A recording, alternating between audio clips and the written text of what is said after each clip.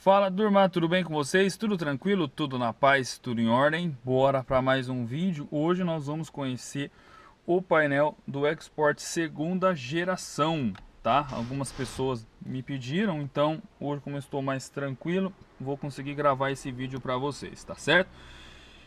E antes já vamos deixar aquele like para fortalecer o, o vídeo, tá? E assim eu consigo saber que vocês querem mais vídeos como esse. E não esqueça de acessar nossa loja virtual, que nós temos aromatizantes bacana lá, top, adesivos, chaveiros do canal. Então acesse lá e veja como está ficando. E nossas redes sociais, nosso Facebook, nosso Instagram, vou deixar também o link para vocês aqui. Beleza? Então vamos lá, vamos lá que a GoPro está acabando a bateria. Então aqui é o painel do, do Export, esse é um, essa é uma Freestyle uh, 2012 modelo 13, é a primeira da segunda geração, tá? Então nós estamos aqui, é um painel ainda todo em plástico, não tem ruído interno esse carro por enquanto, não sei se é pelo fato dele ter 55 mil quilômetros ainda. Então vamos lá, então esse carro aqui é conhecendo o painel do Export, painel de instrumentos baixar o som. Tá piscando tudo assim, galera, é por causa do, da, da, da câmera, tá? Então aqui é o painel de instrumento bem completo, mas é um painel muito bem acabado, apesar de ser plástico ainda, bastante coisa plástico, mas ainda é um painel bem bonito, né? Então aqui é o painel do, do carro, parte do, dos comandos do som, tá a telinha aqui para vocês verem. Então um painel, um som bem completo desse carro aqui, tá? Umas informações bem bacana. Sistema a parte do ar condicionado. Esse aqui é câmbio manual.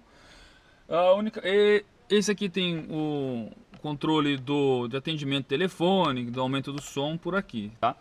Aqui o que ficou meio meio ruim também, aqui são a parte do farol de neblina, farol de neblina, farol de milha e o farol do carro. A única coisa que é ruim, que eu já até expliquei num vídeo que eu fiz também, comparado à primeira geração, quando você liga o farol de milha, você liga o farol, liga o farol de milha, quando você vai desligar ele quando você vai ligar novamente, o farol de milha vai estar desativado, você tem que apertar aqui de novo.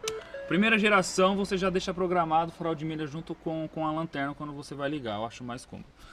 Então, aqui que eu, que eu achei que ficou horrível, é horrível, não ficou nem feio, ficou horrível, né?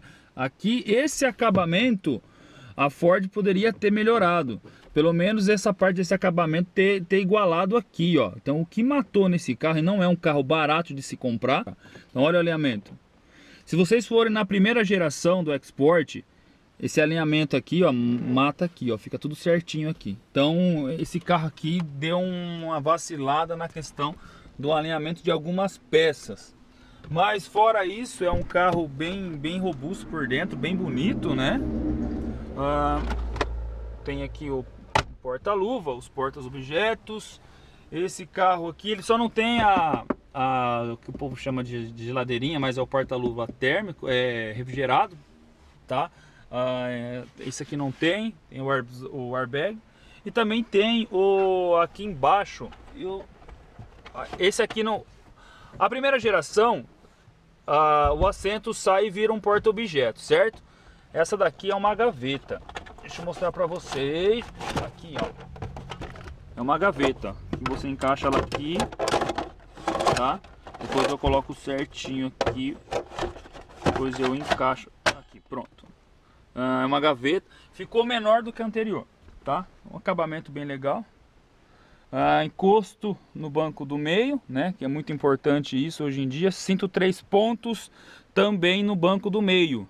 Os comandos do, do, do vidro elétrico, eu achei que ficou muito para frente. Quando você vai abrir, ó, tô encostado, o banco tá para minha posição. Eu tô, ó, tô encostado no banco dirigindo, na hora que eu vou levar, baixar e subir o vidro da frente, onde que minha mão dá, ó, dá nos vidros traseiros. Eu tenho que ir um pouquinho para frente para baixar para comandar os vidros da dianteira. Isso aqui é uma coisa que me incomodou. Mas hoje é mais é apresentando o interior desse carro, o painel desse carro para vocês. A tomada 12 volts fica aqui.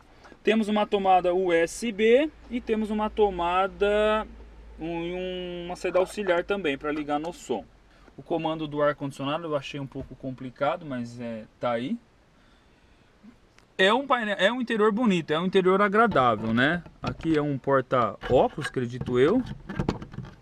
A, a Freestyle e a XLT da primeira geração tem um, um porta-objeto aqui em cima que, é, que eu achei mais espaçoso, tá? Então aqui é o painel, tudo plástico, mas o restante do carro é todo plástico. Não tem as novas, eu vou fazer um vídeo depois na 2018 de um, de um conhecido nosso, de um, de um inscrito do canal. Aqui já é emborrachado, meio emborrachado, mas esse aqui é todo plástico.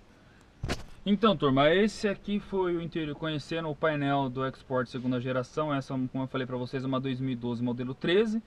Ah, é um painel muito bonito, com uma posição de dirigir muito bacana também. Poderia ser melhor pelo porte do carro, pelo valor do carro, a Ford poderia ter melhorado a questão de acabamento do, do, desse modelo aqui.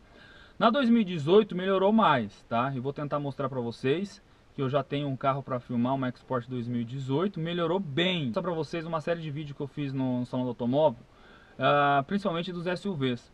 Então, assim, os carros chineses estão muito avançados tá? Se você pegar tanto o Lifan X60, X80, o acabamento tá muito bacana da Sherry. Se você pegar o da Sherry, o Tigo 5, o Tigo 6, 7, se vocês olharem esse carro, o acabamento desse carro tá show de bola, né? Melhorou bastante. Então assim, uh, Ford, Chevrolet, Volkswagen tem que tomar muito cuidado que os chineses estão batendo forte, estão batendo forte, tá?